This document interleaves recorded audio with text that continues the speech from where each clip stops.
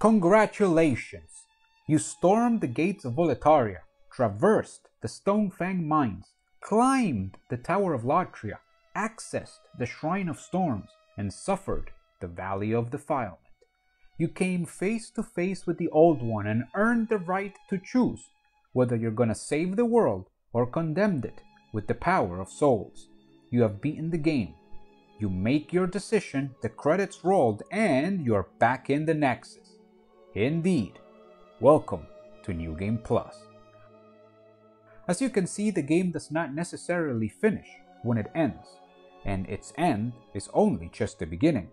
Playing New Game Plus and beyond is just the next test of your will, your might, and your skill as you try to become the true Slayer of Demons. But what is New Game Plus? How does it work? How far does it go? We're gonna answer these questions and more as we take on the challenge of beating Demon Souls Remake in its maximum difficulty possible. We will talk about what New Game Plus is, then we're gonna go over the build that we will be using for this challenge, and finally, you will witness a boss rush of every single boss of the game being defeated in its maximum difficulty. I will leave timestamps in the description of this video so you can skip to the part you're interested in, or maybe you want to skip to a specific boss. In any case, let's get started. Essentially, New Game Plus is a reset of the game after you beat it. As a player, you're able to keep your weapons, your spells, levels, and consumables, but all key items and world events are reset. You get to play the game again but at an increased difficulty level. Enemies are stronger, bosses are deadlier, and you get many more souls for each one you slay. If you prove yourself capable and you beat New Game Plus, the game resets again into the next game cycle that is even harder than the one before. That is called New Game Plus 2. You can then beat New Game Plus 2 and move on to the next cycle, and it goes on and on and on, with the game getting harder every time that you beat it. In order to understand in which game cycle you currently are in, you need to open up the menu, go to settings, and down to exit game. Before you accept, you will see information on the character that you're currently playing. You will see the name, the soul level, the starting class, how many souls you currently carry, the playtime of this character, your current location, and finally, how many times you have beaten the game with this character. If you start a fresh character, a new game, you will see that it says Games Completed 0. If you beat the game once, it will say Games Completed 1. This means that you are in New Game Plus. If you beat the game again, it will say Games Completed 2 meaning that you are in New Game Plus 2, etc., etc. Here, you see that I have completed the game a total of 6 times. This must mean that I am currently in New Game Plus 6. Well, yes, but not really. You see, there is a cap, a limit on the number of New Game Plus that you have access to. Do not get me wrong, you can beat the game with the same character 100 times if you desire, but there is a stop to the game getting harder. Eventually, you will be playing the game at the same difficulty no matter how many times you beat it. The maximum difficulty of Demon Souls Remake is New Game plus 5. After that, it will not get any harder. So, in order for you to understand New Game Plus 6 is the same as New Game Plus 5. Furthermore, New Game Plus 100 is also the same as New Game Plus 5. I will repeat this. Once you beat New Game Plus 5, the game will not get any harder ever again. Now that we know this, exactly how hard is New Game Plus 5? Let's take a look. This chart that I created represents the difficulty of the game in the different game cycles. Please understand, these values are approximate. They are not exact. I do not have the tools or the mathematical knowledge to get exact results. I can, thanks to basic logic and percentages, reach this approximate conclusion. With that out of the way, we see that the first difficulty is New Game. This is the first game cycle and the one everyone goes through on a new character. This is the basic difficulty of the game. If you beat the first game cycle, you move on to New Game Plus. This is the second game cycle and the most important one. New Game Plus has the highest difficulty increase out of all the game cycles. Not only is the increase high, but it is also inconsistent among different enemy types. This means that not all enemies get harder at the same rate. For example, the Dreglings in the gates of Boletaria get twice as hard, a 100% increase. But other enemies later in the game can see difficulty increases of 200 or 300%. This is 3 or 4 times harder than the basic game cycle. The same happens with bosses. The Phalanx gets harder, but it's not that big of a difference. On the other hand, Old King Allant will be hitting you like a truck. After this, things get much easier. If you beat New Game Plus, you will find that New Game Plus 2 is only 7% harder than New Game Plus. This is nothing. Things get harder, but very little. New Game Plus 3 is only 3% harder than New Game Plus 2. New Game Plus 4 is only 4% harder than New Game Plus 3. And finally, New Game Plus 5 is only 5% harder than New Game Plus 4. In total, the difference in difficulty from New Game Plus to New Game Plus 5, a full 5 game cycles, is only 19%. The conclusion is clear. New Game Plus is definitely the hardest difficulty because it has the highest increase, but also because your character build will not be completed at that time, and you will be punished if you do not have a planned build. On the other hand, while New Game Plus 5 is 19% harder than New Game Plus, by that time you will have a fully optimized Soul Level 120 build, and if you want, you can even level up further to make things easy. With the objective of beating the game in New Game Plus 5, we are going to need a good build. My choice is obvious. We are going to use a magic build. I believe that this is the strongest build in the game, especially for PvE, with high damage at very little risk. Please note, in the description of the video, I will leave a link to a full breakdown of the Soul level 120 magic build that I used as the base for my run in New Game Plus 5.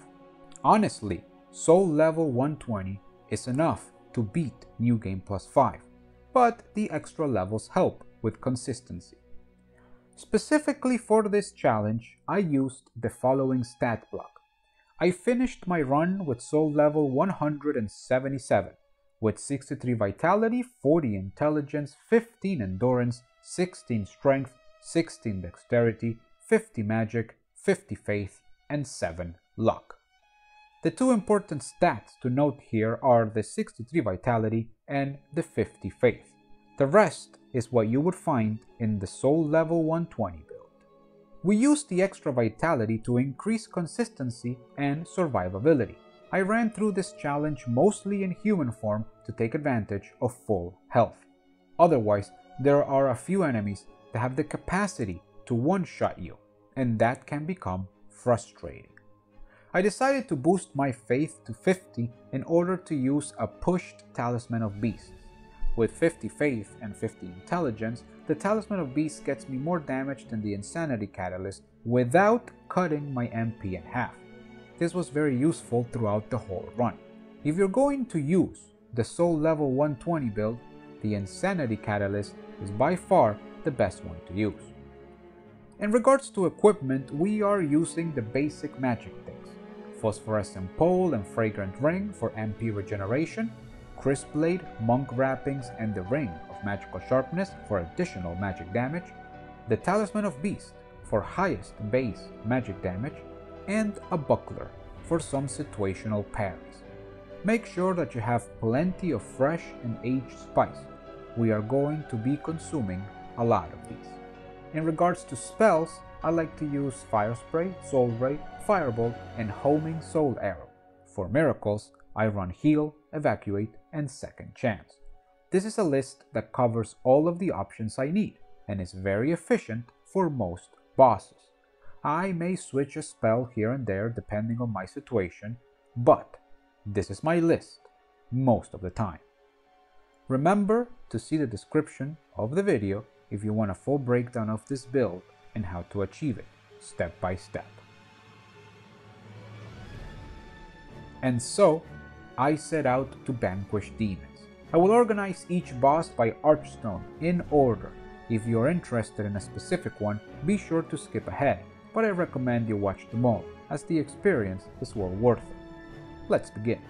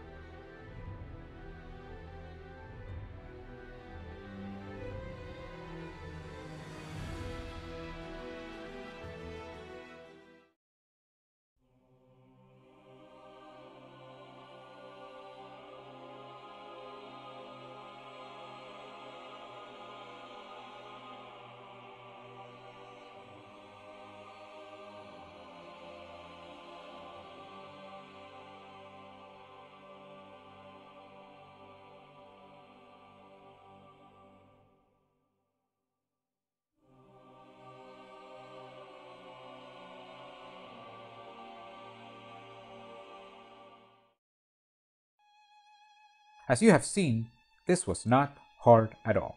The build is truly an overpowered machine of destruction, and there is not enough difficulty increase to keep up with our destructive power.